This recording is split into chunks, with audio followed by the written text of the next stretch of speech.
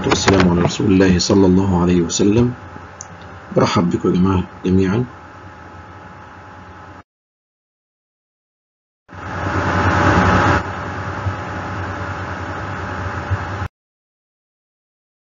إن شاء الله النهاردة هنكمل كلام في جزئنا عن ال GIT drugs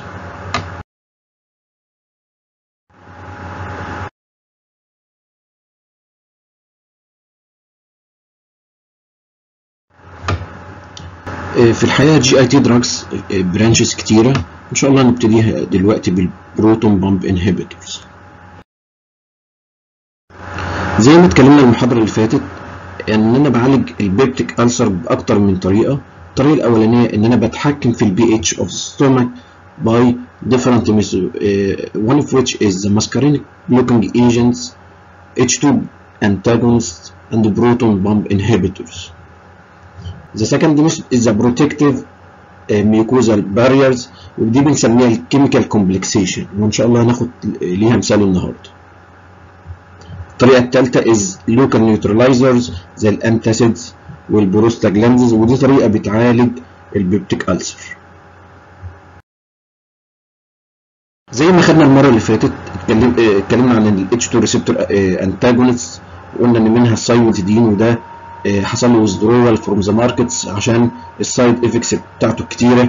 اتكلمنا عن famotidine واتكلمنا عن nizatidine واتكلمنا عن روانتيدين في الحقيقة لما نيجي نتكلم عن ال parietal ال parietal cell اللي موجودة في ال gastric في ال gastric mucosa بنلاقي بنلاقي على ال surface بتاعها في mainly 3 main receptors ال receptor الأولاني بنسميه ال muscarinic receptor وده اللي بيشتغل عليه ال acetylcholine زي ما خدنا في جزء ال cholinergic وال receptor الثاني بنسميه ال G cells وده بيشتغل عليه حاجة اسمها ال gastrin وال receptor الثالث بنسميه ال H 2 receptor وده اللي بيشتغل عليه الهستامين فطريقة من طرق ال treatment of ال peptic ulcer إن أنا بقلل إفراز الايه الاتش سي ال اللي بتفرزه ال parietal cell دي.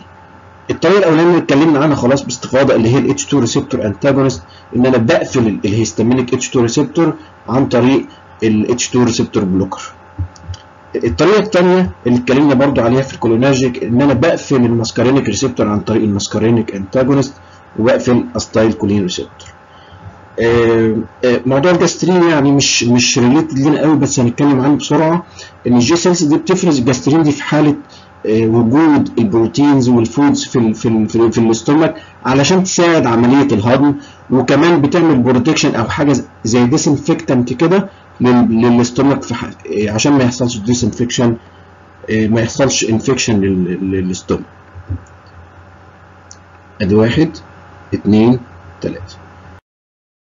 يعني رسم كروكي لل parietal cell وبدأنا نتكلم عنها. هنلاقي فعلا على ال surface بتاعها ال muscarinic receptor ال G cells and ال H 2 receptor وزي ما قلنا كل حاجة corresponding لايه وايه اللي بيشتغل عليها ال muscarinic receptor بيشتغل عليها ال acetylcholine ال H 2 receptor بيشتغل عليها الهستامين ال G cells بيشتغل عليها الجاسترين. في الحقيقة الثلاثه الثلاثه ال pathway الأخراني بتاعهم هو ال proton pump. يعني الثلاثه موجودين في ال pariet- على على ال surface بتاع ال parietal cell عشان في الآخر ال proton pump دي بتفرز ال proton inside ال cavity of the stomach يعني في الحقيقة الثلاث الثلاثه pathway في الآخر بينتهوا ب source واحد بس هو ال proton pump فطبعا كان أفضل بالنسبة لي إن أنا أمنع ال proton pump دي أو أقفلها ويبقى افضل من إن أنا أشتغل على كل surface receptor ده لوحده. ال proton pump دي مهمة جدا يا جماعة بنسميها ال hydrogen potassium ATPase enzyme. hydrogen potassium ATPase enzyme ودي حاجة بتعمل change بين البوتاسيوم والهيدروجين البوتاسيوم بتدخل والهيدروجين بتخرج inside the cavity of the stomach زي ما حضراتكم شايفين ده يعني ده شكل animation كده. لما ال acetylcholine بيشبك بيشبك بال muscarinic receptor أو الهستامين بيشبك بال H receptor إزاي بتعمل activation لل proton pump دي وبتخرج ال acid inside the stomach cavity وبالتالي منع لل proton pump is more is more uh, advantageous لأنه طبعا بيمنع إفراز ال- ال- الحمض regardless of what the mechanism is is, is the pariet- is activated by يعني سواء حصل لها activation بال muscarinic receptor بال H 2 receptor أو بال- بال G cells أنا في الآخر بمنع الخطوة الأخرانية خالص اللي هي إفراز الحمض عن طريق ال proton. pump طبعا ده شكل ال peptic ulcers سواء peptic أو duodenal ulcers. وهنتكلم عنها بالتفصيل شوية إن شاء الله دلوقتي.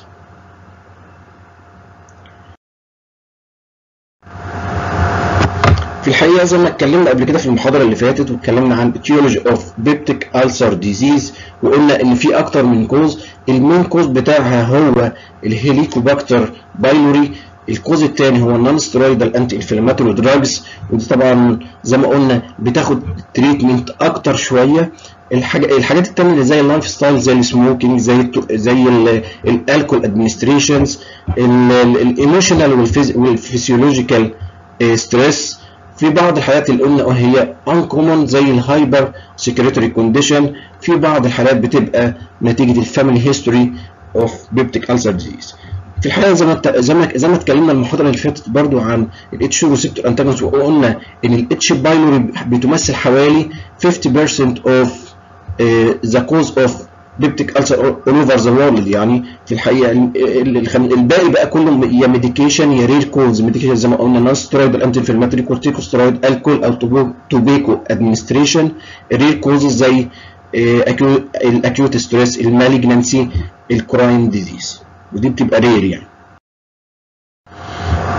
في الحقيقة ال proton pump inhibitor مش بتعالج بس ال peptic ulcer بتعالج common disease وده يعني حاجة common جدا في مع مع أمراض المعدة زي ال peptic ulcer بالظبط بنسميها ولاد GERD أو GER اللي هو ال gastroesophageal reflux بيحصل في الحقيقة ال reflux ده نتيجة ان ال sphincter بتاع ال بتاع ال stomach ما بيقفلش كويس. نتيجة زيادة إفراز ال وبالتالي بيخرج بيخرج لل esophagus ودي بت- بتعمل طبعا بيبقى لها أعراض عند المريض زي زي ال cough وحاجات كتيرة كده.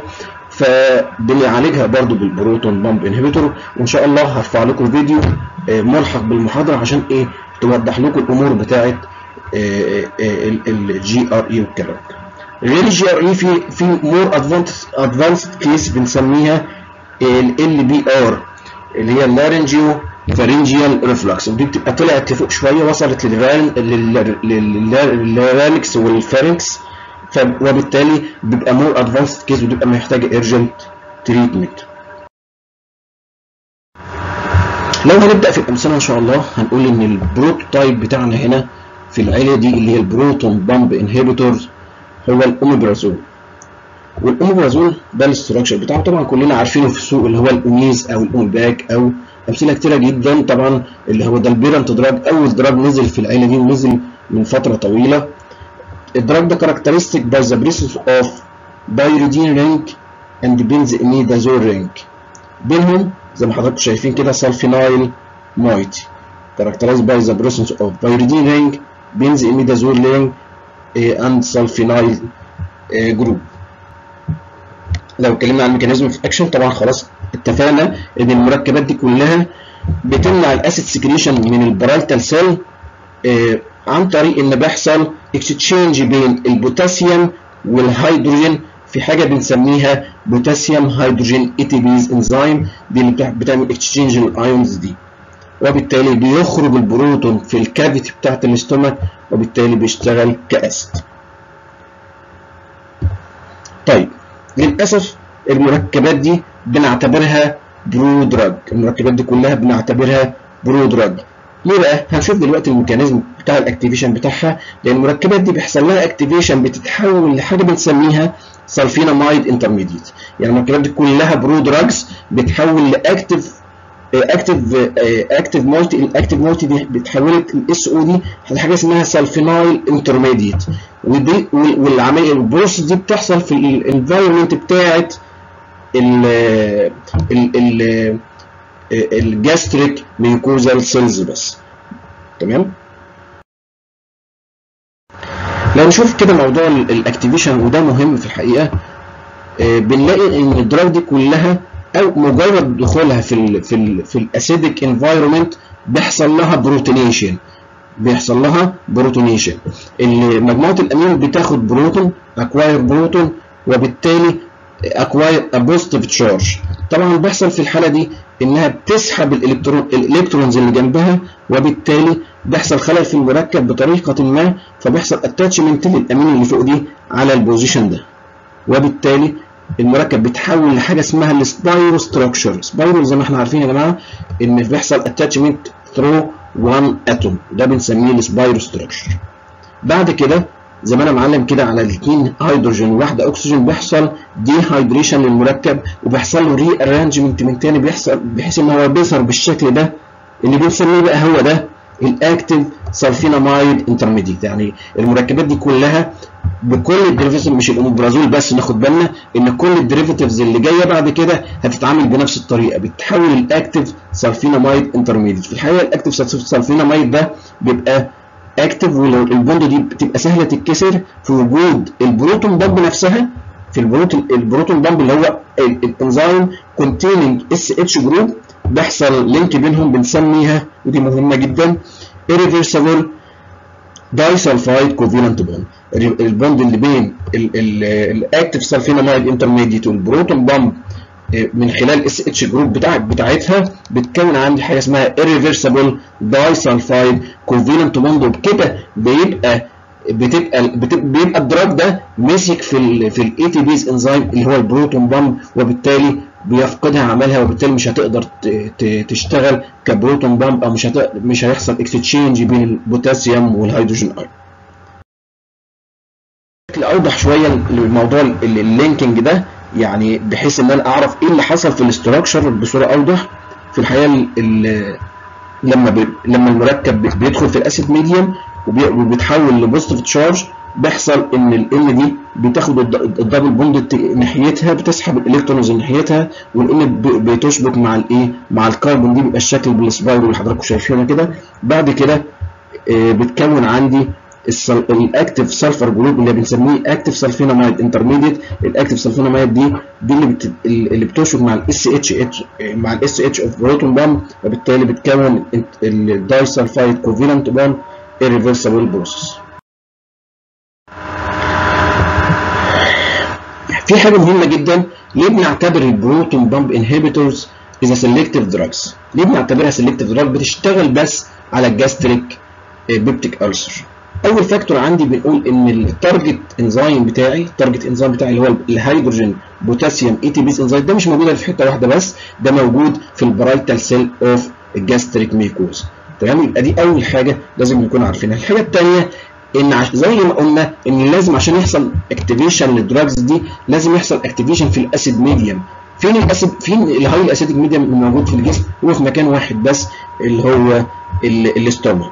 وبالتالي مش هيحصل لها activation إلا في المكان ده لأنها لازم يحصل لها protonation عشان يحصل rearrangement لل structure وتحول من prodrug إلى active drugs الحاجة الثالثه المهمة برضو إن المركبات دي بمجرد ما اتحولت ل positively charged cation يعني اتحولت ل polar زي ما حضراتكم كنتوا كنت فاكرين كويس جدا في ال chemical base إن المركب عشان يعدي أي barrier لازم يبقى non-polar أو lipophilic ال nature وبالتالي المركبات دي بمجرد ما اتحولت ل polar compound مش هتقدر تعدي تاني أو أو تخرج تاني من ال parietal cells وبالتالي هيبقى لها selective action في ال position ده.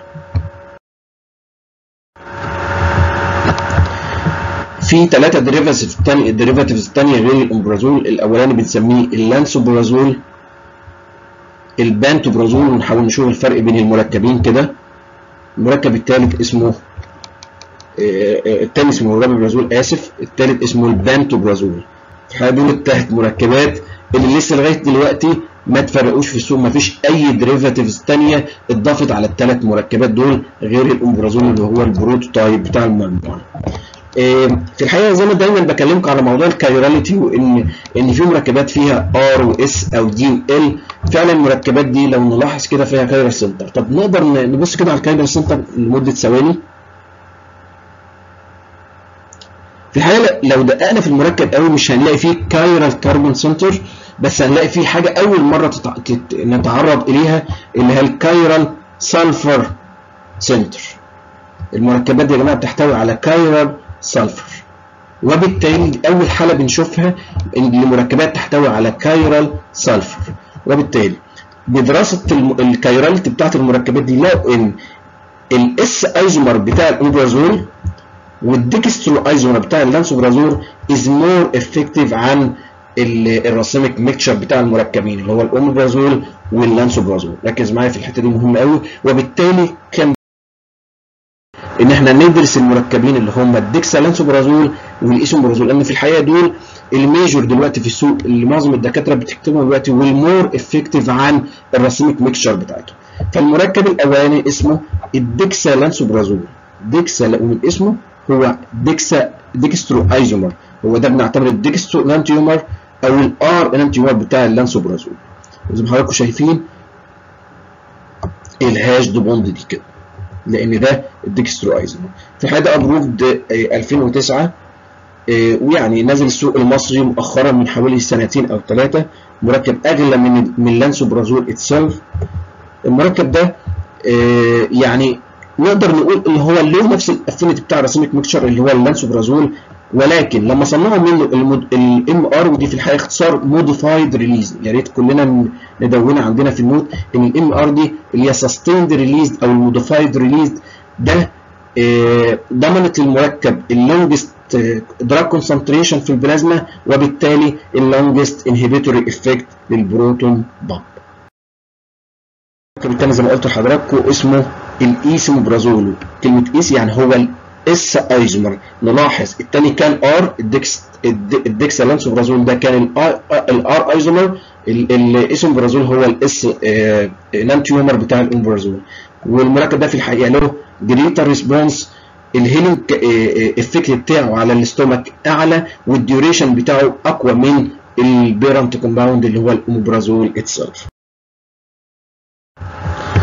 في الحقيقة ده جدول كده. جمعنا فيه ال dose وجمعنا فيه بتتاخد إمتى؟ المركبات دي كلها. هنلاقي بس note كده إن الوحيد اللي هو ال dexlansoprazole اللي بيتاخد once daily يعني ممكن المركبات دي تتاخد once or double dose daily يعني before breakfast and before dinner but the, the, the only drug that can be used once daily dexlansoprazole وفي الحقيقة برضو في معلومة تانية إن. كل المركبات بتتاخد before meals but the only one is taken regardless of food intake is dexlansoprazole في الحقيقة برضو ده جدول بي... بيوري لي إيه ال regimen اللي بمشي عليها في ال different gastric disorders ال heart burn ال healing erosion لل esophagus في حالات ال helicobacter pylori non steroidal administration and so on في الحقيقة يعني معظمها بتقول إن هي بتبقى 8 weeks يعني ممكن تزيد في بعض الحالات اللي هي يعني أصعب شوية. وال helicobacter زي ما إحنا شايفين يا جماعة بتبقى 14 day من 14 day treatment with ال proton pump. ده برضو جدول عجبني جدا بيوضح ال drug interaction لل proton pump inhibitors كلها مع معظم ال drugs. يعني ملحوظة كده جميلة خالص. بنلاقي إن ال proton ال pantoprazole is the only drug have no interaction recorded till now يعني. في بعض المركبات إيه إيه لسه لغاية دلوقتي ما فيش data بين ال drug يعني الحاجات دي خلاص أعتقد هيتعمل لها update أو اتعمل لها update بالفعل لكن في حاجات لسه لغاية دلوقتي ما لهاش data موجودة في ال drug interaction مع معظم ال drugs. في الحقيقة ده بيحتم علينا لازم نتكلم عن ال H. pylori وخطورتها وإزاي بقدر أعالجها. في الحقيقة دي مش موجودة في ال handout بس دي بضيفها لمعلوماتك الشخصية لأن دي مهمة جدا لأن زي ما قلت لحضرتك إن دي common case في ال في ال peptic ulcer disease اللي هي ال H. pylori زي ما حضرتك شايفين كده ده كأنه ماسك حاجة وبيفحر في جدار المعدة بصورة بشعة جدا. بنشخص ال H. pylori إزاي؟ في الحقيقة بنشخص ال H. pylori بال non endoscopic test اللي هي ال blood antibody ال urea breathing test وال stool antigen في الحقيقة بنلاقي ال stool هو ال top وهو إيه ال more accurate result ال breathing test إن أنا بعمل detection للأمونيا نتيجة وجود ال H. pylori يعني we have to smell الأمونيا odor from the mouth of the إيه of the patient يعني. ال endoscopic test زي ما حضرتك شايفين طبعا ده المنظار اللي بيتعمل بيبين ال peptic ulcer أو ال duodenal ulcer بتبقى باينة إن دي نتيجة ال H. pylori ربنا يعافيك علاج الاتش الاتش بايلوري بيبقى فيه أكتر من regimen لمعلوماتك الشخصية كلهم containing ال proton pump inhibitors ال method الأولانية اللي هي ال triple therapy ودي بتبقى clarithromycin amoxicillin proton pump أو clarithromycin metronidazole proton pump أو levofloxacin amoxicillin proton pump دول دول في الحقيقة الثلاث طرق الموجودة في السوق ودي بتبقى كبسولة واحدة بياخدها المريض يعني before before breakfast and before dinner ال quadruple therapy بيبقى فيه أربعة drugs bismuth metronidazole tetracycline and proton pump ودي مش common قوي في السوق واللي common قوي هي ال sequential ودي بتبقى 5 day بعالج بيها المريض بالبروتون بامب والاموكسيلين followed by another 5 days the, the patient treated with proton pump clarithromycin and metronidazole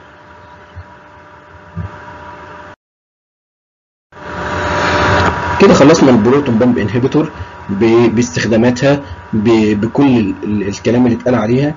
في الحقيقة الطريقة الثانية زي ما قلت لحضراتكم قبل كده إن أنا أعمل protective layer إن أنا أحمي جدار المعدة. والطريقة دي بنسميها ال chemical complexation والمثال بتاعها اسمه ال sucralfate ال sucralfate ده في الحقيقة بيرتبط بال ulcer site عشان يعمل protective barrier وبالتالي بيمنع انها يحصل لها exposure لل acid and ال pepsin مشاكلها ان هي ممكن تعمل anticoagulant effect بتقلل ال bioavailability of certain drugs زي ال tetracyclines وال cimetidine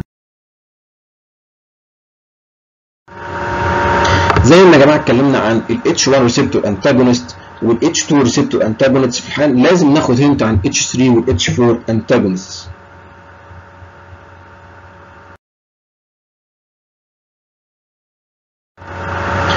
ال H3 receptor antagonist دي يا جماعة بنسميها autoreceptor autoreceptor دي يعني إيه؟ يعني receptor بيعتمد ان الهستامين نفسه يرجع يشبك عشان يقلل ال synthesis بتاعه نركز في الموضوع ده حاجة بنسميها ال feedback inhibition ال feedback inhibition ده الهستامين بيخرج فيه يشبك في ال H3 receptor وبالتالي بيمنع ال synthesis وال release بتاع بتاع نفسه. يعني يعني الهستامين هو نفسه هنا هو اللي بيمنع إفراز الإفراز وال synthesis بتاعه. علشان كده بنسمي في الحقيقة ده شكل ال H receptor بتبقى موجودة برضو على ال histaminergic presynaptic neurons مجرد خروج الهستامين خلاص بيدي ال effect بتاع H1 وال H2 تمام؟ هو نفسه بيرجع يرتبط بال H3 عشان يمنع ال release والايه وال synthesis بتاع الهستامين في الحقيقة في الحقيقة لو هنتكلم عن ال drugs مفيش drugs كتيرة في الحقيقة H3 receptor هناخد مثال واحد بس اللي هو ال thioperamide ال thioperamide ده selective H3 receptor antagonist وفي الحقيقة كمان لما درسوا ال effect بتاعه لقوا إن هو وده مهم جدا المركب ده as potent H4 antagonist لأنه يقدر يعدي ال blood brain barrier في مركب كده وده المركب الوحيد اللي هناخده ك H3 agonist take care كده. المركب ده هو الوحيد اللي بيشتغل ك H3 agonist selective and potent H3 agonist ده بنسميه ال imetit المركب اللي اسمه thioperamide والمركب الثاني اللي هو selective H3 agonist not antagonist is imetit مش بس ال proton pump inhibitor اللي, في GIT drugs لا ده في كتيرة جدا منها زي ما قلنا زي ما خدنا كده قبل كده ال antacids ال H2 receptor antagonist ال proton pump inhibitor أو ال potassium hydrogen ATPase inhibitors في بقى ال digestants وال laxatives وال antidiarrheal وال emetics وال antiemetics drugs وفي ال adsorbent agents الحقيقة لو هتكلم بسرعة بقى عن كل category من دول ك يعني حاجة لازم آخد hint عنها كصيدلي أو كحد لازم هينزل السوق يبقى عارف كل ال class دي من سواء من ال pharma أو ال medicinal. ال antacid طبعا عارفين معظمها زي الصوديوم بايكربونات الكالسيوم كربونات الالومنيوم هيدروكسيد والمغنيسيوم هيدروكسيد ودي يا جماعة في الحقيقة بتعمل neutralization لل acid وبترفع ال pH طبعا بترفع ال pH to towards alkaline pH ال digestants ودي mainly ال ursodeoxycholic acid وده يا جماعة في الحقيقة بس مركب بستخدمه عشان ال gallbladder stone وفي علاج ال jaundice كمان. ال antidiarrheal طبعا إحنا عارفين ال diarrhea ال diarrhea دي ممكن يكون لها أسباب كتيرة جدا منها إنها تكون سببها viral infection bacterial infection fungal and parasitic وممكن تكون أسباب unknown يعني. في الحقيقة ال most commonly used drugs بنسميها ال opioid receptor agonist اللي هي morphine like drugs ال morphine like drugs دي بتشتغل زي المورفين وال derivatives بتاعته. إزاي بقى انها بتقلل ال tone بتاع ال smooth muscle في ال intestinal wall يعني بتقلل التون بتاع اللينجوتيودينال والسيركل سموث ماسل في الانتست في مثالين هنتكلم عنهم اللي هو ال diphenoxylate وال loperamide في الحقيقة أنا هكتفي بس باللوبراميد لأن مركب مهم جدا لأن الفرق بينهم لو رجعت كده آه تمام. اللوبراميد ده مركب مهم بستخدمه mainly for traveler diarrhea في حالات في ناس لما بتسافر بيحصل لها حالات diarrhea وبستخدمه برضو ده تاني مركب بستخدمه لل irritable bowel syndrome وده بقى more effective عن ال diphenoxylate with less side effect. ال antiemetics بقى ودي مركبات طبعا مهمة ما نقدرش نستغنى عنها ك GIT drugs طبعا معظمنا عارفين إن ال emesis ده بقى له أكتر من cause يعني ال cause ال main cause اللي هو إحنا عارفينها كلنا اللي هو radiation therapy ممكن أثناء ال pregnancy بتلاقي ال pregnant woman على طول بيحصل لها emesis في بعض حالات الجاز ال GIT tumors وفي certain types of motions. أو, أو بنلاقي unknown cause يعني. وبالتالي إحنا قسمنا قسمنا ال antiemetic 6 class قبل ما اتكلم عن ال antiemetic class كده في الحقيقة لازم أتكلم عن ال centers اللي هنشتغل عليها. في الحقيقة بنشتغل على 2 or 3 main centers يعني. ال center الأولاني بنسميه ال chemoreceptor trigger zone وده في الحقيقة موجود في ال cerebral cortex في ال inner ear وال GIT حتة ال inner ear حتى دايما المريض اللي عنده مشكلة في, في الأذن الداخلية بنلاقي عنده دايما motion sickness و emesis مستمر. ال center التاني بنسميه ال vomiting center تمام وفي center بنسميه ال vestibular center دول الثلاثه centers اللي بيشتغل عليهم معظم ال drugs اللي هنتكلم عنهم خلاص بسرعة لأن في حاجات إحنا already خدناها وفي الجديد بس هو اللي هنتكلم عنه اتكلمنا قبل كده عن ال antipsychotic وقلنا ان المركبات دي بتشتغل ك antiemetic drugs ال antipsychotic phenothiazine derivatives لأن دي لأنها بتشتغل على المنطقة اللي هي بنسميها ال chemoreceptor trigger zone ال antihistaminic drugs برضه اتكلمنا عن ال meclizine وقلنا إن المركب ده بستخدمه في علاج ال motion sickness ك antiemetic و antivertigo في بعض ال anticholinergic بستخدمها في combination مع ال amphetamine وال scopolamine ده بستخدمها ك antiemetic agents في بعض ال drugs اللي هي ال cannabinoids اللي هي morphine derivatives برضه بستخدمها وخاصة for treatment of ال cancer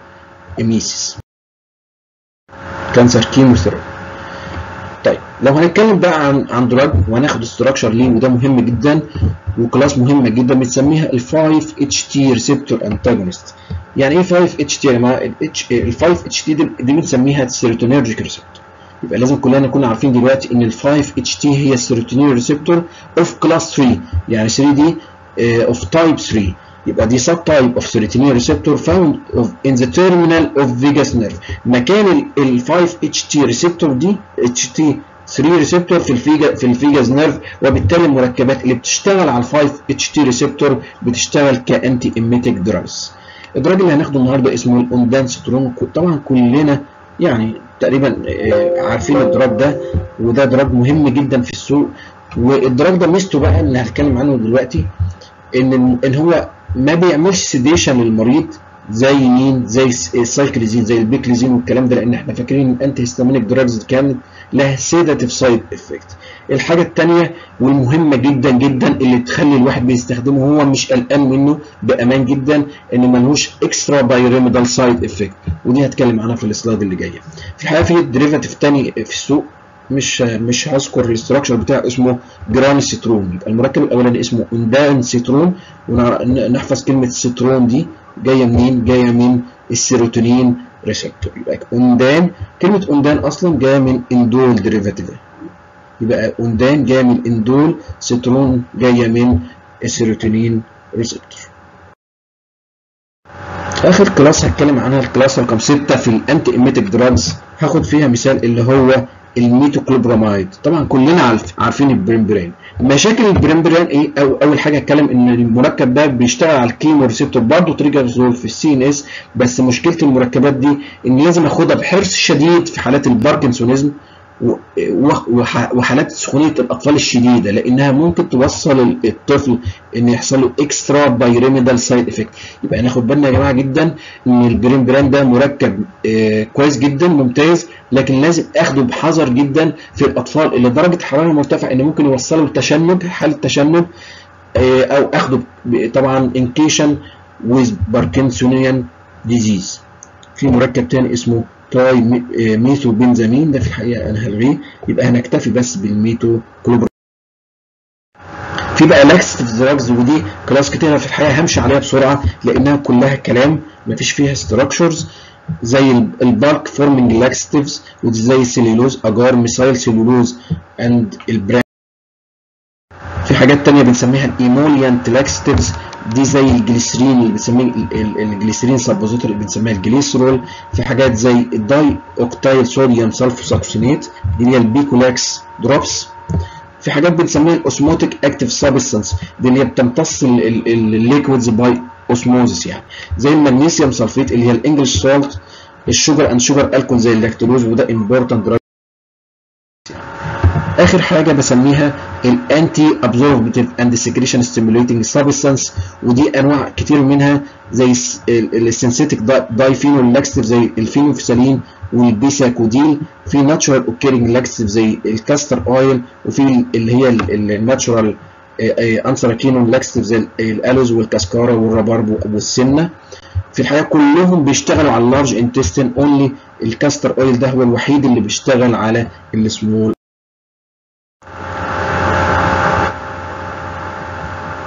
آخر حاجة خالص هنتكلم عنها هي ال adsorbent وال adsorbent دي بتبقى chemically inert powder لها القدرة على امتصاص ال gases وال toxins والبكتيريا. فبستفيد منها في حالات كتيرة زي حالات إيه يا جماعة؟ زي حالات التسمم زي حالات ال diarrhea زي ما هنشوف دلوقتي إن شاء الله.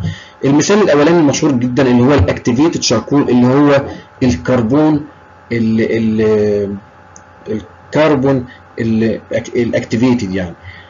ده زي ال Eucarbon في السوق وده في الحقيقة بستخدمه في حالات ال toxicity والكلام ده. لو جالك أي مريض أو طفل أو حد كبير شرب toxins معين بتدي له activated charcoal بتحاول تمتص ال toxin ال toxins الايه اللي في ال GIT الحاجة الثانية بنسميها ال kaolin وده بقى native hydrated aluminium silicate الحاجة الأخيرة بنسميها ال pectin وال pectin ده في الحقيقة مركب مشهور في السوق بستخدمه مع ال kaolin ك antidiarrheal agent في حالات ال infant وال children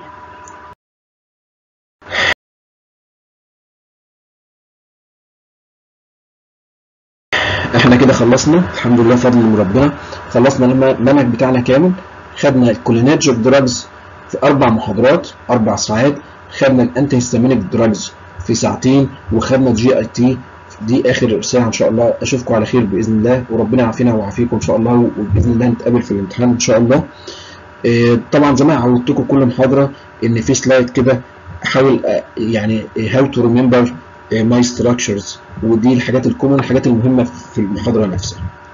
الحقيقة اتكلمنا عن الاوميبرازول وقلنا إن في derivative منه اللي هو ال esomeprazole وده هو ال S isomer اتكلمنا عن ال lansoprazole واتكلمنا واتكلمنا عن ال dextro isomer بتاعه اسمه dexlansoprazole اتكلمنا عن ال rabeprazole وعن ال pantoprazole ودول كلهم بعتبرهم proton pump inhibitor ال thioperamide وده selective H3 receptor and H4 receptor antagonist ال imetit ده وده الوحيد اللي اشتغل ك H3 agonist اتكلمنا عن اللوبراميد ده وقلنا إن هو anti diarrhea اللي بستخدمه في حالات ال traveler diarrhea وال وال وال وال irritable bowel syndrome وده بيبقى narcotic agonist اتكلمنا عن ال ondansetron وهو قلنا إن antiemetic بيشتغل على ال 5 HT receptor antagonist اتكلمنا عن ال Primperan اللي هو الميت كلوبرامايد ونعرفه إزاي يا شباب؟ met من آه methoxy group clop clo من مجموعة الكلور amide من مجموعة ال amide. ده اسمه ميت كلوبرامايد شكرا جزيلا وإلى اللقاء إن شاء الله. والسلام عليكم ورحمة الله وبركاته.